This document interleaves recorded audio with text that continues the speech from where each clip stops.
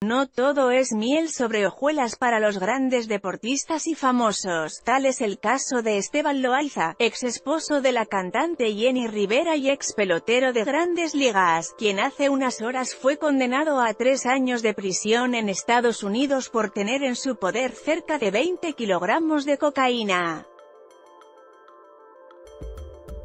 El juicio al ex beisbolista de 46 años se llevó a cabo en una audiencia al sur de California. El ex deportista fue detenido el 9 de febrero del año pasado en la ciudad de Imperial Beach en posesión de un cargamento de 20 kilos de cocaína, valuado en medio millón de dólares. Esteban Loaiza jugó béisbol profesional en las grandes ligas de los Estados Unidos con los Piratas de Pittsburgh, los Rangers de Texas, las Mantarrayas de Toronto, los Medias Blancas de Chicago, los Yankees de Nueva York, los Dodgers de Los Ángeles y Oakland.